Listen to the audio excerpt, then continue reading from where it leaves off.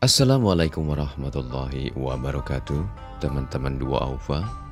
Setiap bangunan pasti memiliki ciri khas tersendiri, tak terkecuali masjid. Pergi berwisata alam ataupun kuliner mungkin sudah sering Anda lakukan. Nah, kali ini Anda bisa mencoba hal baru dengan berwisata edukasi dan religi ke beberapa masjid dengan arsitektur unik berikut ini. Teman-teman dua Aufa, Berikut ini adalah enam bangunan masjid dengan arsitektur unik di Indonesia. Yang pertama adalah Masjid Kapal Semarang. Selain Masjid Agung Semarang, ternyata ada satu masjid dengan arsitektur unik berbentuk sebuah kapal. Masjid ini dikenal dengan sebutan Masjid Kapal Bahtera Nabi Nuh. Masjid ini terletak cukup jauh dari pusat kota Semarang, tepatnya di Jalan Kiai Padak, Podorejo, Kecamatan Ngalian, Kota Semarang, Provinsi Jawa Tengah. Masjid ini dibangun pada tahun 2015 sebenarnya bernama Masjid Safinatun Najah yang sempat viral di media sosial setelah diunggah oleh netizen. Pengunjung yang datang akan takjub dengan keindahan masjid kapal ini. Masjid ini terdiri dari empat lantai. Lantai pertama digunakan untuk ruang pertemuan. Lantai kedua dan ketiga digunakan untuk tempat ibadah, dan lantai keempat digunakan tempat wisata untuk melihat pemandangan alam dari ketinggian.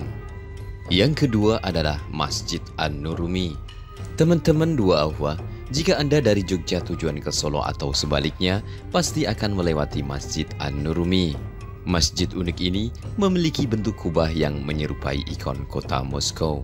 Terletak di pinggir jalan besar, masjid ini tampak mencolok dengan ciri khas kubahnya yang berwarna-warni seperti lollipop dan bergaya arsitektur Rusia.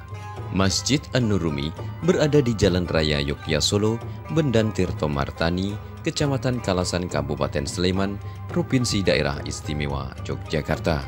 Meskipun ukurannya tidak terlalu besar untuk menampung banyak jemaah, masjid ini memberikan keteduhan bagi para pengendara untuk singgah istirahat sejenak, menjalankan ibadah sholat sebelum melanjutkan perjalanan. Yang ketiga adalah Masjid Al-Irsyad. Keunikan dari arsitektur masjid ini terletak pada bangunannya yang berbentuk kubus. Bangunan masjid ini memiliki ornamen yang sederhana tetapi memiliki nilai filosofis yang tinggi.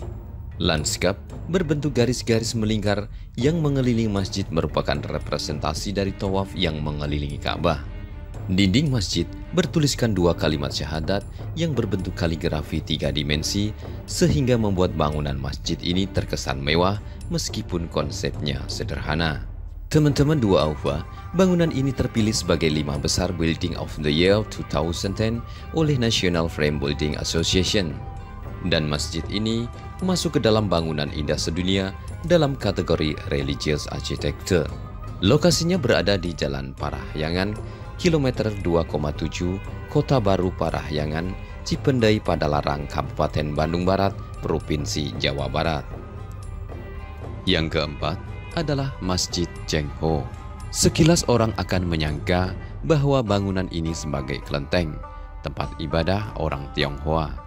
Namun, ternyata bangunan ini adalah sebuah masjid. Nama Masjid Chengho merupakan wujud rasa syukur dan penghormatan segenap muslim di Surabaya dan Indonesia terhadap Laksamana, bahariawan asal negeri Cina yang beragama Islam. Lokasinya berada di Jalan Gading nomor 2, Ketabang Genteng, Kota Surabaya, Provinsi Jawa Timur. Yang kelima adalah Masjid Raya Sumatera Barat. Masjid unik ini memiliki atap bangunan yang menggambarkan bentuk bentangan kain. Lokasinya cukup strategis, yakni berada di jantung ibu kota, di persimpangan antara Jalan Khotib Sulaiman dan Jalan Kiai Haji Ahmad Dahlan, Kecamatan Padang Utara, Kota Padang, Provinsi Sumatera Barat.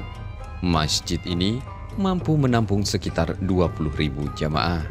Keunggulan lain, Masjid ini dirancang untuk menahan gempa hingga 10 skala Richter, sekaligus shelter lokasi evakuasi bila terjadi tsunami.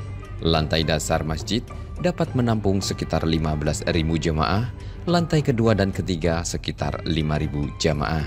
Uniknya dari masjid ini, tidak mempunyai kubah seperti masjid pada umumnya.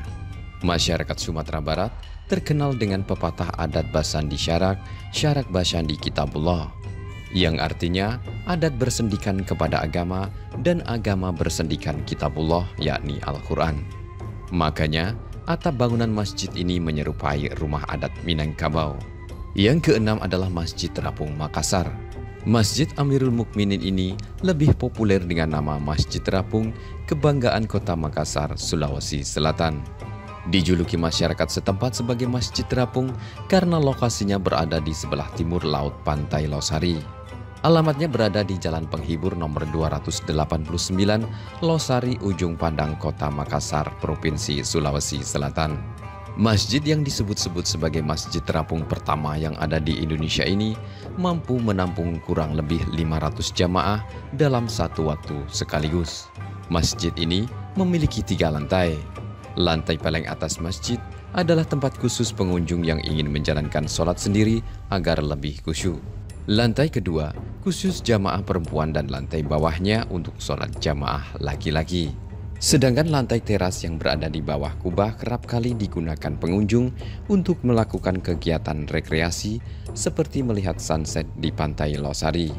Teman-teman dua Aufa, Demikianlah ulasan dari enam bangunan masjid dengan arsitektur unik di Indonesia.